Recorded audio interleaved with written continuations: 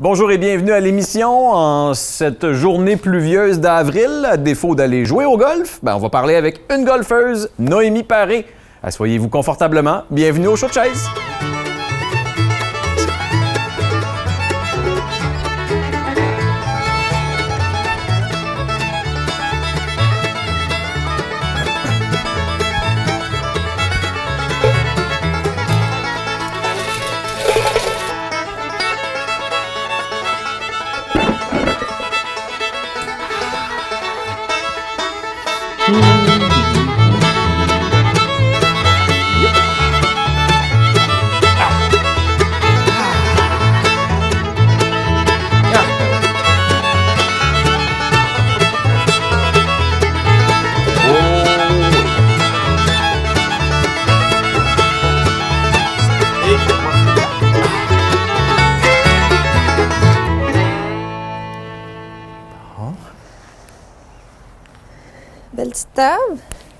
C'est.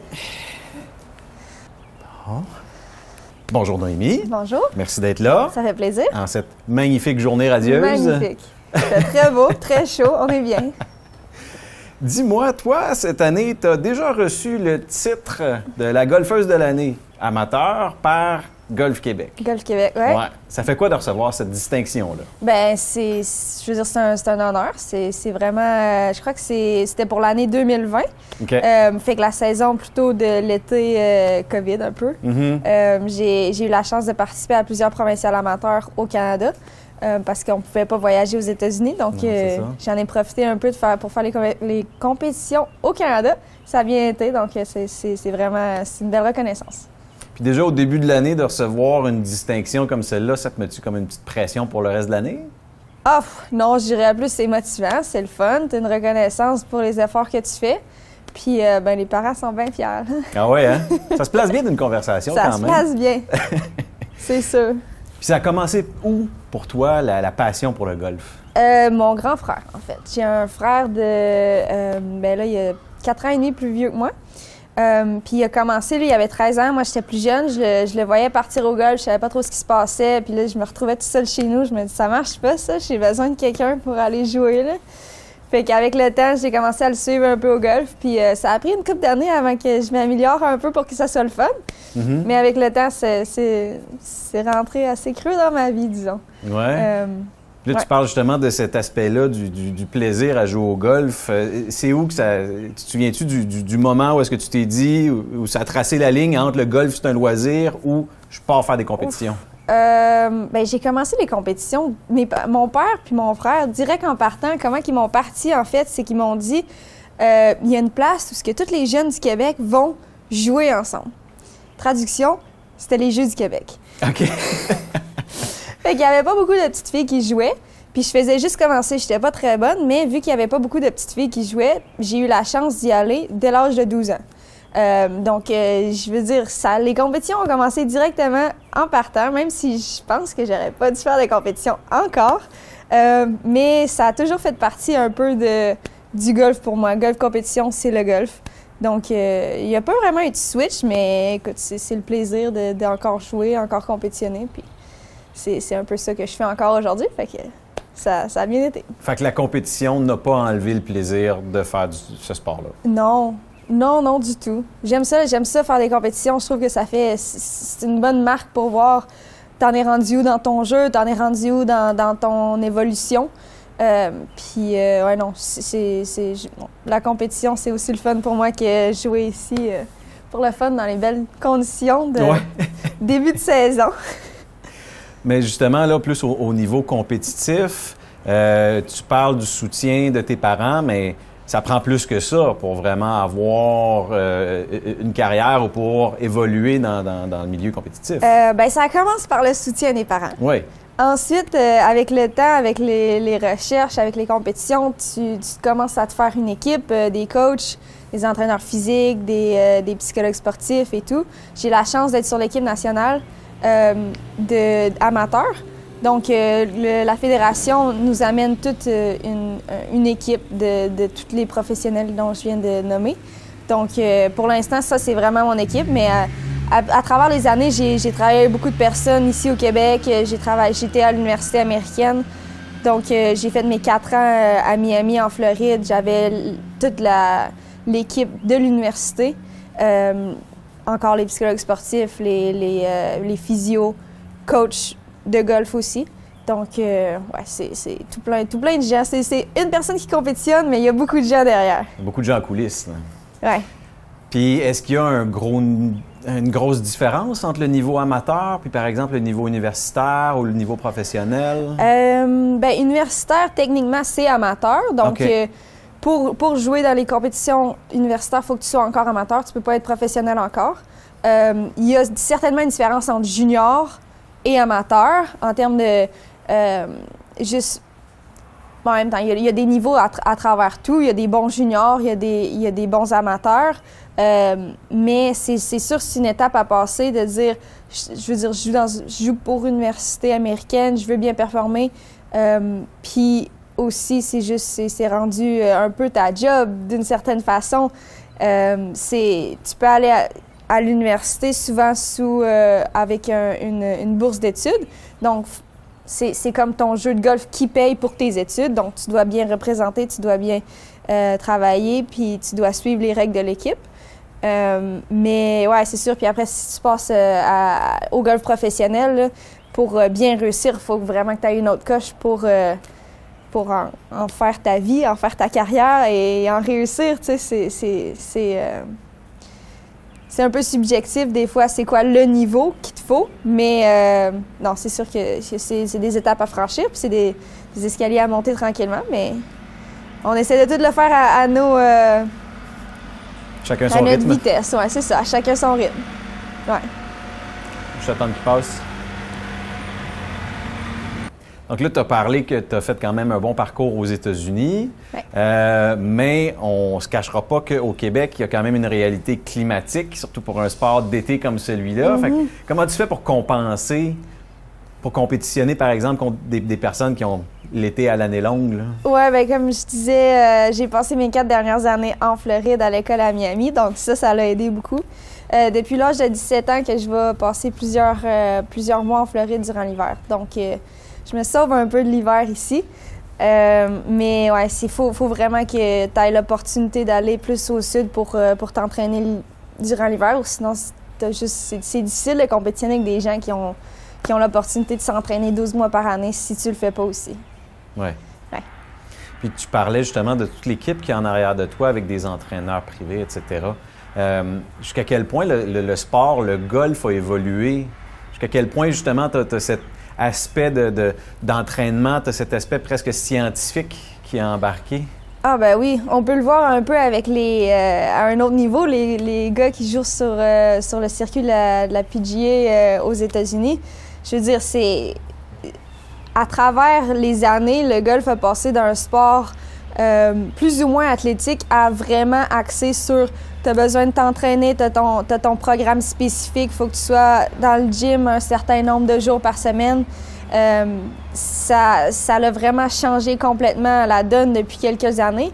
Et surtout, mettons, pour moi, je suis plutôt grande. J'ai jamais vraiment été, euh, en termes de force physique, ça n'a jamais été ma force, disons. Donc, euh, il a fallu que je passe plus de temps au gym pour avoir moins euh, cette flex j'ai plus de flexibilité que de force brute. Donc il faut que je comble le, manque un peu dans ce sens-là.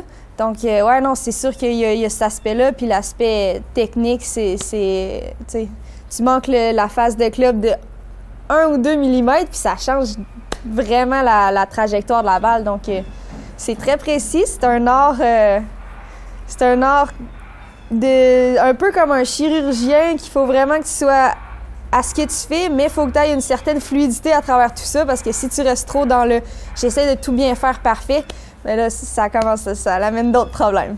Ah oui, absolument. Euh, mais c'était justement ça ma prochaine question. Toi, c'est quoi l'élément de ton jeu que tu as le plus perfectionné à travers le temps pour te rendre à ton niveau? Oh, euh, c'est une bonne question.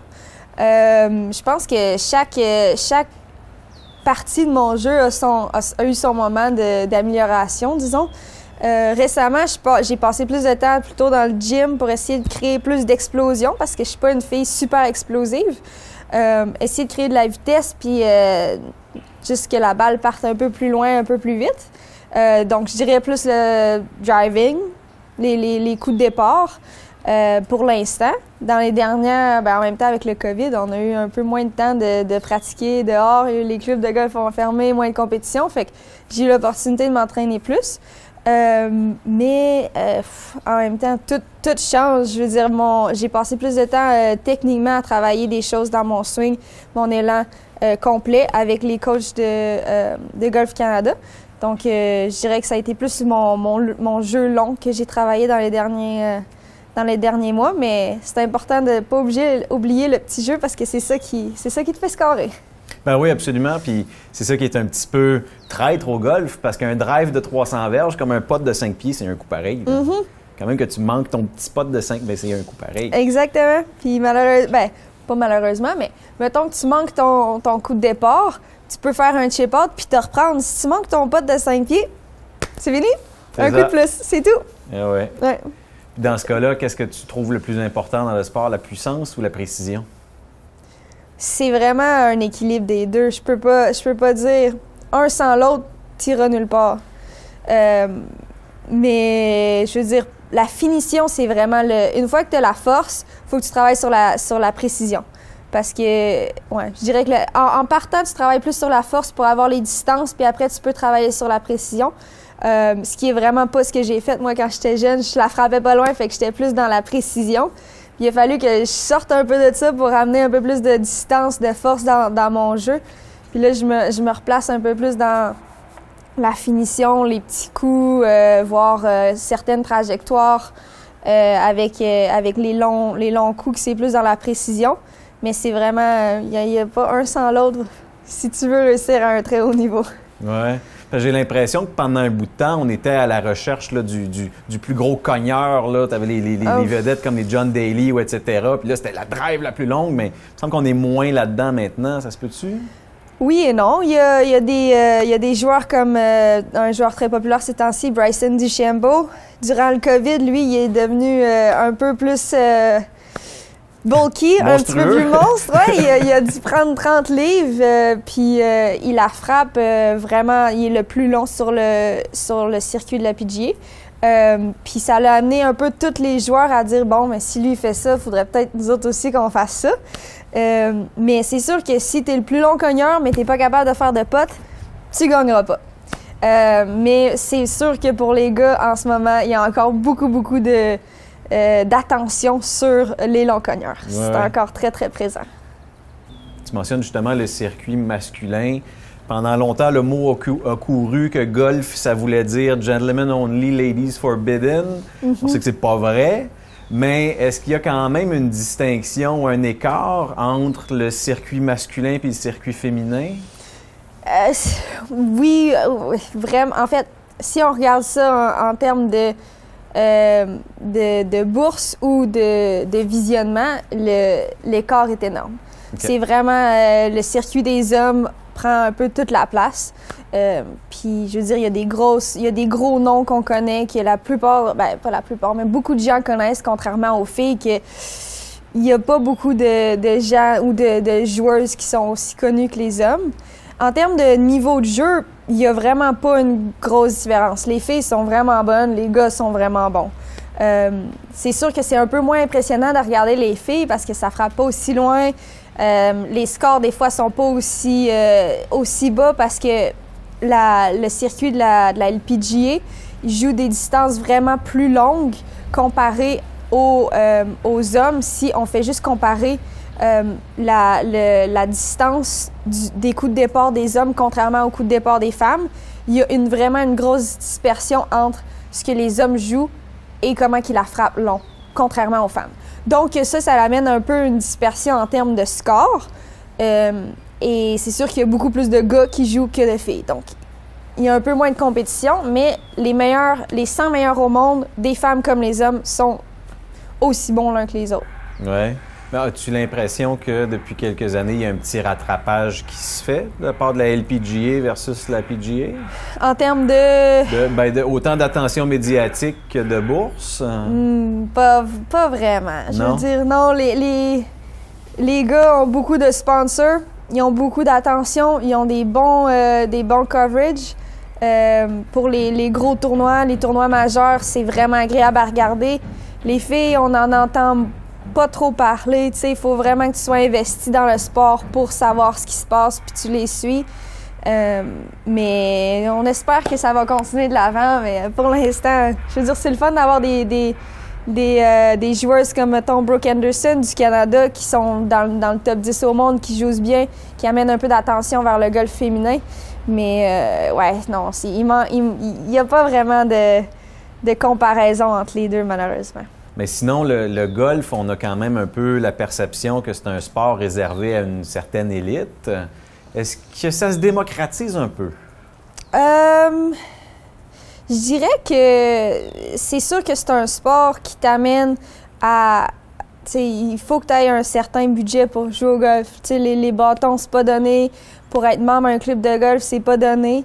Euh, je pense que les gens, surtout Golf Québec, ils font une, bonne campagne pour amener ça un peu plus accessible aux, jeunes, surtout pour amener une nouvelle génération euh, d'apprécier le golf puis de jouer au golf. Il y, a des bons, euh, y a des bons prix, je pense, pour les juniors ici. pour commencer à jouer et, juste apprivoiser le sport un peu. Euh, c'est sûr qu'avec le temps, euh, si tu veux acheter des nouveaux bâtons à toutes les, à toutes les années, tu es capable. Il, y a, bien, de, du marketing un peu là-dessus. Mais euh, pour, pour juste commencer à jouer pour le plaisir, je pense que c'est assez accessible. Si tu veux monter à un autre niveau pour, pour compétitionner à un plus haut niveau, tu sais, ça devient un peu plus touché, tu sais, ça devient un peu plus dispendieux, mais il y a des programmes, il y a beaucoup de bourses. Euh, avec les années, moi, j'ai eu accès à plusieurs bourses euh, ici au Québec et le, les, les, euh, les, fédérations comme Golf Canada aident beaucoup financièrement aussi. Donc, ça, ça l'aide un peu tout.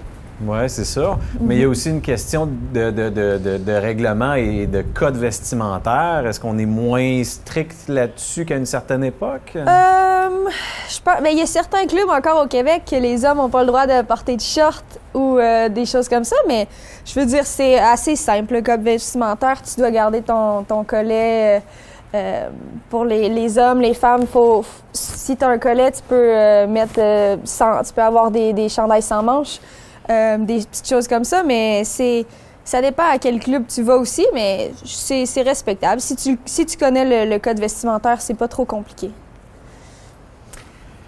Là, on est euh, au printemps, un magnifique printemps qu'on a euh, mm-hmm. aujourd'hui. Et cette année va être une autre année particulière, merci au COVID. Donc, ouais. comment ça s'enligne pour toi? Euh, ça s'enligne que je vais faire probablement quelques quarantaines euh, dans les prochains mois. Euh, je suis revenue, j'ai passé une partie de mon hiver en Floride pour m'entraîner. Je suis revenue début mars, j'ai fait une, quarantaine de 14 jours. là, j'ai pu m'entraîner ici. Il a fait relativement beau pour un début de printemps. On n'a pas la meilleure journée aujourd'hui, mais en général, c'était bien. Et je m'apprête à retourner aux, États-Unis pour quelques compétitions au mois de mai, début juin. Euh, après, je vais revenir pour euh, le restant de l'été, un peu probablement plus mois de juillet. Euh, il y a un gros tournoi à Montréal, le Canadien amateur, que ça, c'est un, bon objectif pour moi cet été. Et ensuite, je vais faire la qualification pour la LPGA au mois d'août, donc je retourne aux États-Unis. Donc, ça va faire un peu de, back and forth, mais déjà, c'est plus flexible que l'an dernier. Ouais, ça, ça, me permet d'y de, aller en partant. C'est déjà un bon début. c'est ça que je me demandais, parce que malgré tout, la, frontière est supposément fermée, mais en bout de ligne, il y a des possibilités quand même d'aller de l'autre côté. Ouais, je crois que c'est plus ouvert pour les, euh, pour les Canadiens de rentrer aux États-Unis, surtout que les États-Unis, euh, beaucoup de gens sont vaccinés maintenant. Euh, donc, ouais, non, c'est fermé, mais c'est ouvert pour certaines, certaines you know, catégorie de Catégorie, c'est ça, exactement. Puis là, on voit qu'en Ontario aussi, là, ils viennent de fermer la frontière. Euh, est-ce que ça vient jouer un peu dans tes plans pour ça? Oui, bien, j'étais supposée de retourner voir mon entraîneur euh, d'ici mon départ aux États-Unis début mai. Donc là, euh, on ne sait pas trop où ça, ça va aller où dans, en termes d'entraînement de, puis de, de, Ouais, c'est ça, de, d'entraînement avec mon coach. Je sais pas trop, faut, faut s'en parler, on sait pas, mais Ouais, lui, il habite à Toronto, fait que. j- OK, ouais. On sait pas trop ça va aller où, là. Ouais, puis s'entraîner au golf par Zoom, c'est pas... Ça marche pas, Terriblement. disons. Ça Non. marche pas très bien. Fait que là, c'est quoi ta prochaine grosse compétition? Là? Tu me parlais des États-Unis, c'est laquelle, celle-là? C'est le- la qualification pour le US Open Des, des, euh, des femmes, qui euh, ma, ma, ma qualification, c'est le, le 5 mai euh, dans l'État du Massachusetts. Donc, c'est 36 trous dans une journée, puis c'est une qualification. Fait que si tu joues bien cette journée-là, tu joues bien. Sinon, ben, à l'année prochaine. Mais ça, on espère pour le mieux pour cette qualification-là. Puis après, ben, au, en Floride, j'ai quelques tournois amateurs, dont le c'est le, le Southeastern en Floride. Euh, Il y en a quelques-uns en Floride, Connecticut, South Carolina et tout, tout ça. là. Donc, euh, c'est un peu de voyagement, mais ça me fait plaisir de le faire euh, après tous ce- tous ces, ces mois d'attente. Ben non, c'est ça, enfin, la Ouais. délivrance. Ouais, un petit peu, ouais. Puis sinon, si on regarde ici au Québec, la, la scène du golf, y a-tu un, un- un terrain que tu jamais fait puis que tu aimerais ça aller jouer, aller Oh. essayer? Bonne question. Un terrain? Euh, j'ai été, chanceuse d'en faire quelques-uns de, bons. J'ai joué euh, le, Royal Montréal, qui c'est justement c'est là notre compétition du Canadien amateur cette année. Donc j'ai eu l'opportunité d'aller m'en- d'aller m'entraîner là avec euh, Golf Canada l'an dernier. Ça c'était un beau terrain. Après j'ai joué le, j'en ai joué des beaux. J'ai joué la Tempête l'an dernier avec mon frère. Puis je devrais y retourner cette année.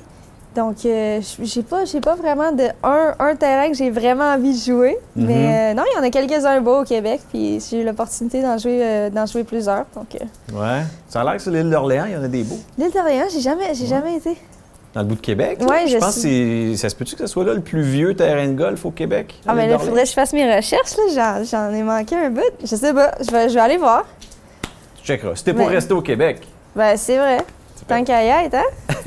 Fait que si on parle d'ici, du club de golf de Victoriaville, tu le connais comme le fond de ta poche. Mm. Ça fait quoi de rejouer un terrain que tu connais par cœur? Ben, ça me permet de, de pouvoir plus me focuser sur le- l'entraînement que j'essaie de faire cette journée-là. Donc, si je veux travailler mes coups d'approche, si je veux travailler mes drives, je connais le terrain, je sais ce qui va se passer. Euh, je peux me plus me focuser sur les conditions de la journée. Donc, aujourd'hui, une journée froide, pluvieuse, qui pleut, ben la balle voyage moins. Tu es plus concentré à ce que c'est comment que ça va affecter le, le coup et tout. Donc, ça me permet de, de vraiment focuser sur l'entraînement de la journée. Euh, et moins perdre de coups sur « Ah, je savais pas qu'il y avait une trappe là. Ben oui, c'est ça. Ouais. Est-ce que, ça, est-ce que des fois, tu vas être plus audacieuse en disant Hey, ça, je l'ai jamais essayé ce coup-là, puis je vais Ah. l'essayer? Ben, J'aime ça, j'aime ça jouer différents terres de départ. Donc, euh, je peux jouer euh, dans l'arrière avec mon frère ou dans avant pour le fun, pour me dire qu'aujourd'hui, je veux, aller- je veux jouer euh, un bon score under par. Euh, mais euh, ouais, ben c'est facile. On connaît, on connaît un peu toutes les, toutes les, euh, les lignes sur les terres de départ. Il y a, certains. Ce qui, est, ce qui est le fun avec les années, c'est que je peux me comparer à chaque année comment je m'améliore. Mettons, il y a euh, au trou numéro 5 ici, du terre de départ, c'est un par 5, puis Mhm. tu peux couper par-dessus les arbres Ouais. si tu as assez de distance. Euh, puis avec les années, des rouges, j'étais capable. Après, quelques années plus tard, des blancs, j'étais capable. Puis là, cette année, des bleus, je suis capable de passer par-dessus les arbres, qui est un bon carry de probablement au moins 230 verges. OK. Donc, euh, ça, ça, ça me permet de, de, de voir avec comment que je me suis al- De améliorée à mesurer ta travers. progression. Exactement. Puis c'est juste un bon, euh, c'est un bon petit, euh, petit tape dans le dos. Là, t'es capable de faire ça. Ok, le prochain, c'est partir des A. Mais là, c'est un- c'est une grosse demande, mais on va voir, on va voir quand je vais être capable de le faire. Ben ouais. Puis tu le mentionnais plus tôt, euh, le golf, ça prend pas grand-chose entre un coup réussi puis un coup un peu manqué. Là, tu parlais des éléments du, du climat, Ouais. tu parlais de l'humidité, tout le kit. Ouais. Ça, il faut vraiment calculer tout ça. Euh, pas nécessairement au début de la partie, mais à chaque coup. À chaque coup, ben oui, parce que la direction des trous change, donc le vent change. Des fois, tu es protégé des arbres, des fois, tu as, le vent directement contre ou avec toi. Donc, euh, c'est sûr qu'en en- en début de journée, ben, je sais qu'aujourd'hui, il fait froid. La balle ira peut-être pas très loin, il pleut, ça, ça amène un peu de, de euh, plus de lourdeur à la balle, donc elle va un peu moins loin. Il faut que tu regardes en début de ronde, puis après, à travers, à chaque coup, il faut que tu vois, bon, mais le vent, est-ce qu'il m'aide, est-ce qu'il me nuit, le, le green, est-ce que ça va arrêter ou il est plutôt dur, elle va rouler un peu plus.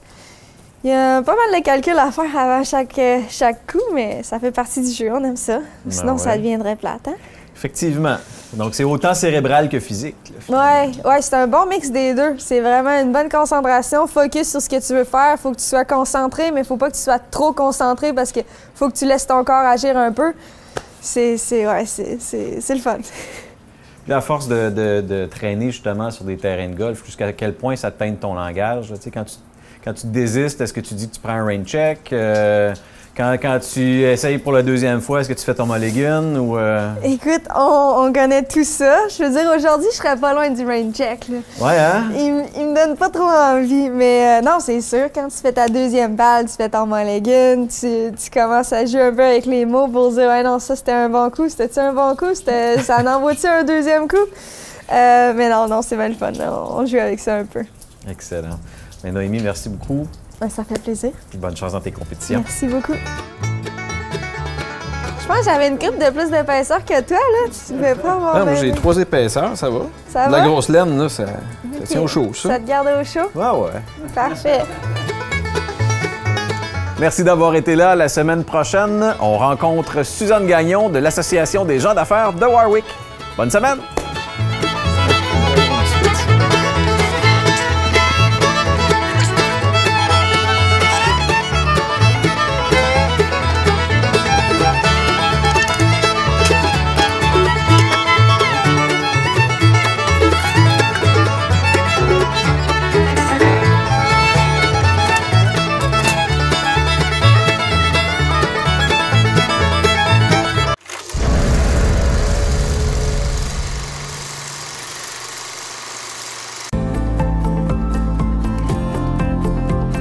La vraie télé, c'est la télé communautaire, c'est la télé autonome, la télé libre, parce qu'elle n'est pas contrôlée par des géants, elle n'est pas contrôlée par de la publicité, elle n'est pas contrôlée par du gros argent, elle est contrôlée par vos intérêts.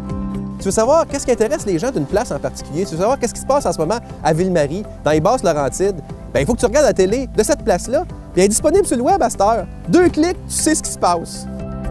Tu sais, l'avenir, c'est de parler des vrais enjeux, des vraies valeurs, de ce qui nous touche vraiment. Il n'y a rien de mieux qu'un médium local pour le faire. C'est pour ça que les télécommunautaires autonomes font ce travail-là. Et puis, on parle souvent de codes d'écoute, puis tout ça. Un, les codes d'écoute sont assez bonnes. Puis deux, le qualitatif, c'est important aussi. La qualité des gens qui regardent, c'est des gens intéressés, intéressants. Pourquoi? Parce qu'on regarde notre communauté. On peut passer à la TV pour parler de nos enjeux. Là, on parle des vraies affaires. On parle pas juste des Moses de vedettes de schnout de Montréal. Non! On parle de ce qui se passe chez toi.